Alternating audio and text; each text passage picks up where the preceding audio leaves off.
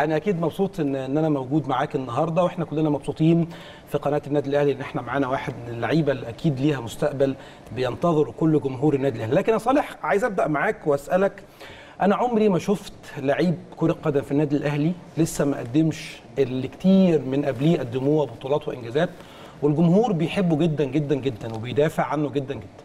فتخيل بقى لو صالح جمعه لعب وتألق وعمل بطولات وإنجازات في النادي الأهلي هيبقى عامل إزاي بالنسبة للجمهور؟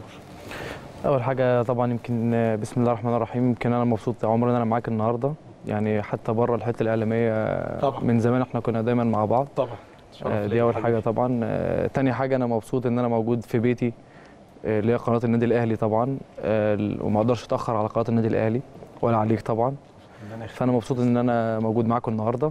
دي أول حاجة. يمكن تاني حاجة زي ما أنت بتقول يمكن الحمد لله الواحد ربنا أنعم عليه بحاجة.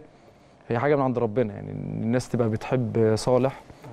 على الرغم من من إن صالح دخل آه، فترات كتيرة جدا آه، في مشاكل في مشادات آه، مشاكل زي زي الناس كلها عارفاها.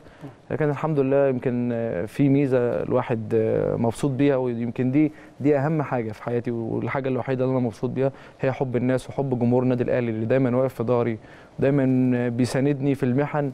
قبل قبل الفرحة يعني. فأنا فأنا دي حاجة يمكن خصوصا الفترة دي واخدها بشكل إيجابي جدا معايا إن أنا الناس اللي وقفت جنبي خلال الفترة اللي فاتت دي ورجعت صالح جمعة تاني يعني أعتقد إن هم ليهم عند صالح جمعة آه، شكل تاني خالص إن صالح جمعة يبقى الفترة الجاية دي آه، يظهر بشكل مختلف آه، يقدر إن هو يشيل النادي الأهلي يشيل الفرقة عشان الناس اللي وقفت جنبه خلال الفترة دي ومتعشمة فيه خير إن شاء الله.